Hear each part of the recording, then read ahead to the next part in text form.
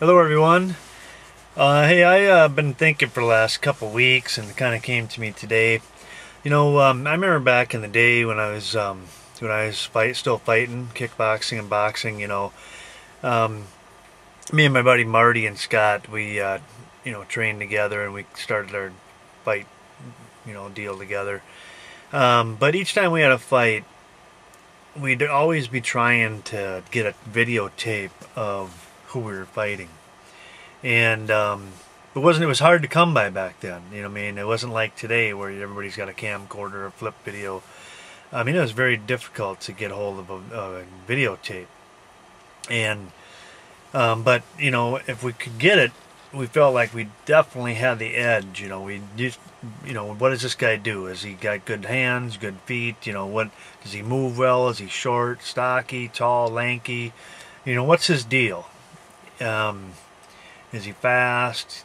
You know, what what is his what's his game plan? You know, we knew we we could get the edge if we could see him once, and um,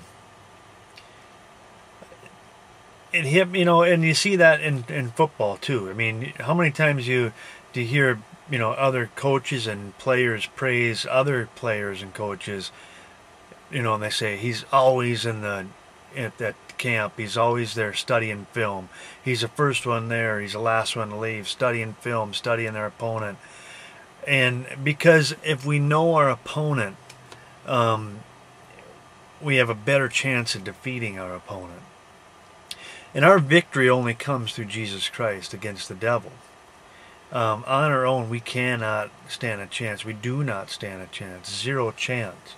But that doesn't mean we don't need to know our enemy, our adversary, our opponent.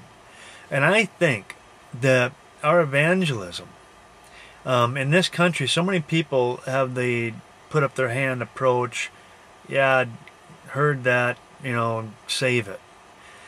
And I think that is definitely wrapped up in the fact that people are lulled to sleep to the reality of the enemy I remember back in the day when I watched this movie, um, uh, Usual Suspects, and there's this this character, the main character, that mysterious character that nobody knew who it was. Uh, I think it was called. His name is Kaiser Sosa or Sose or something like that. And they said something in that movie. They said the greatest trick Kaiser Sosa ever did was convince the world he didn't exist. And that is definitely what Satan has done between the distractions and the confusion, he's also deceived people into thinking he doesn't exist.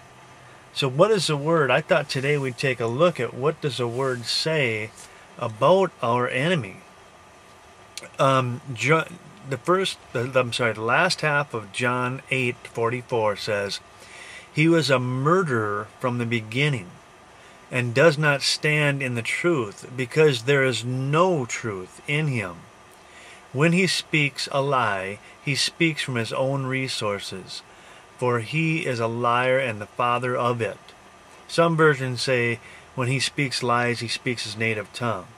Okay, so he's a murderer, a liar, and deceiver. Okay, 1 John 3 8 says, He who sins is of the devil for the devil has sinned from the beginning. For, his, for this purpose the Son of God was manifested, that he might destroy the works of the devil. 1 John 3.10 says, In this the children of God and the children of the devil are manifest. Now before we read the rest of that, let's let's take a look at the the um, the uh, I'm drawing a blank. What does it mean when you know what the, the meaning of a word?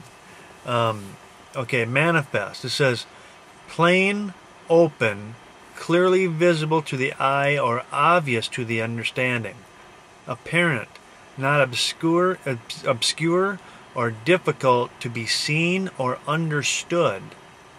From the testimony, the truth we conceive to be manifest. Okay, that's the definition. That's what I was looking for. That's the definition of manifest. So let's read this again, 1 John 3.10. In this, the children of God and the children of de the devil are manifest. So The rest of the verse is going to tell us how we know, how it is obvious, how it is visible, and clear to our understanding who is of God and who is of the devil. It's going to be manifest. Whoever does not practice righteousness is not of God, nor is he who does not love his brother. Okay? So do you practice righteousness? Okay, now 1 John 5:19 says, "We know that we are of God and the whole world lies under the sway of the wicked one." Okay, some versions say under the influence of the devil. Okay, but um, that's that's the deal. The world is under the sway or the influence of Satan.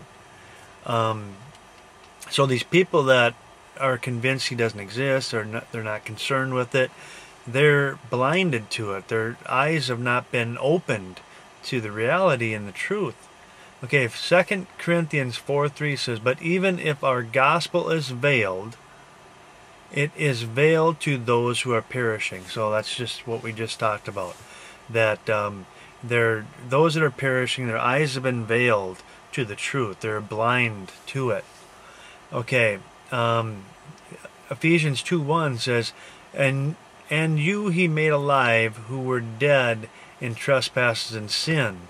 Then verse 2, In which you once walked according to the course of this world, according to the prince of the power of the air, the Spirit who now works in the sons of disobedience. Genesis 3 1. Now the serpent was more cunning than any beast of the field. So now we know he's a liar, he's deceiving, he's swaying and influencing the world, and he's more cunning than any beast of the field. You think about that. I mean, you think about um, the animals out there, say in the jungle. I mean, they do some pretty cunning things to eat, to survive. But they don't even, they're not even close to Satan. Again, now the serpent was more cunning than any beast of the field which the Lord God has made. And he said to the woman, Has God indeed said, You shall not eat of every tree, uh, shall not eat of every tree in, of the garden? Notice how now he wants to have a conversation. He's like, Hey, you know, let me put that doubt in there. And the woman said to the serpent, We may eat of eat the fruit of the trees of the garden, but of the tree the fruit of the tree which is in the midst of the garden, God has said, You shall not eat, eat it, nor shall you touch it, lest you die. And check out what the snake does, Satan. Then the serpent said to the woman, You shall you will not surely die. Just just that slickness, you know. And he knew God wasn't talking about a, a physical death right there on the spot, but a spiritual death. But he says that to the woman, for and he continues, For God knows that in the day you eat of it, your eyes will be opened, and you will be like God, knowing good and evil. And just like Satan wanted to replace God, and he wanted to be numero uno, he appeals to our flesh, suggesting that we are so important. I remember one time when, I was in the prison, this guy Michael, he had gotten saved like six, eight months before I was introduced to him or met him, and the wisdom, godly wisdom he had, you would, you could have swore he'd been saved for 18 years. I mean, he was a giant in the Word. He and he loved the Lord. But in this time of transitioning out of the flesh into the Spirit, he went to one of the counselors complaining about this or complaining about that. And Bruce stopped Michael in his tracks and he said, Michael, whoever said this is about you? And his point is, it isn't about us, but Satan wants to make us think it's about us. We are wretched sinners deserving of eternal condemnation. It's not about us, it's about Him and surrendering to Him. His will be done. Okay, that's it. Think about that. That's one of the number one things in the prayer that He had for us was your will be done, Lord, not mine. God bless you all. We'll see ya.